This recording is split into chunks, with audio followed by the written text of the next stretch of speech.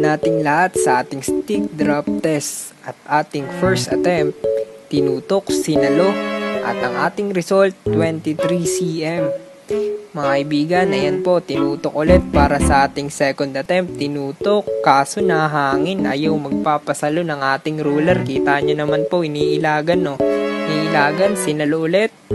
Ang resulta, 26 cm. At para sa ating huling attempt, tinutok ulit, binagsak, sinalo. Resulta, 11 cm. Peace out.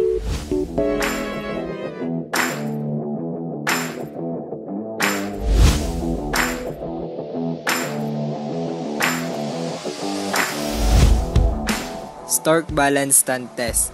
Pag magaganto kayo, kailangan yung nakamedyas lang kayo. Dapat hubad yung sapatos. Simulan muna natin sa right part.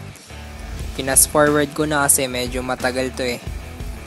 So ayan, right part, kailangan nasa bewang yung inyong kamay. Tapos naka proper position kayo. Medyo nahiya na ako kaya binaba ko na agad. Kahit kaya ko pantagalan. Pagkatapos sa right, punta ka naman sa left, ganun pa din ang gagawin. Kailangan yung kamay mo ay nasa baywang, tapos dapat nga pala may timer ka para maurasan yung gagawin mo.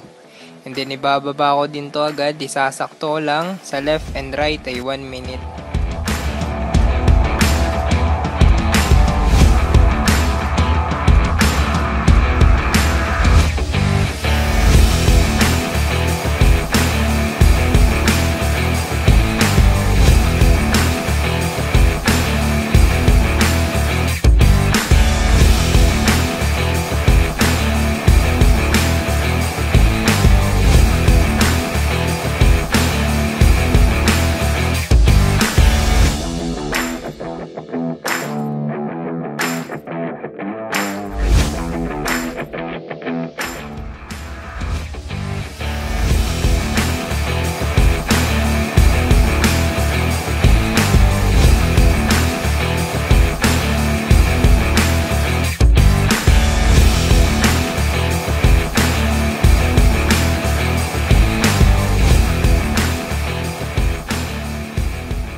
Hexagon Agility Test. So una, kailangan meron kayong hexagon na 18 inches per side.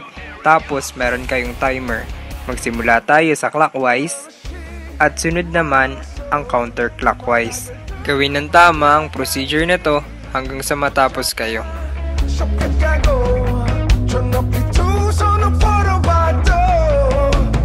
Come, come, and Nico, say light up the sky.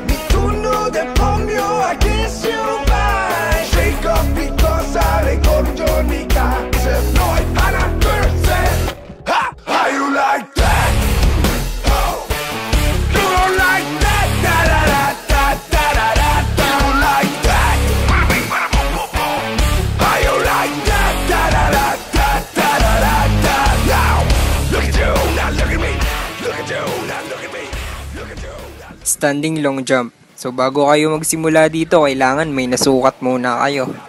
So first attempt, ayan, tumalon. Tingnan nga natin kung anong nakuha.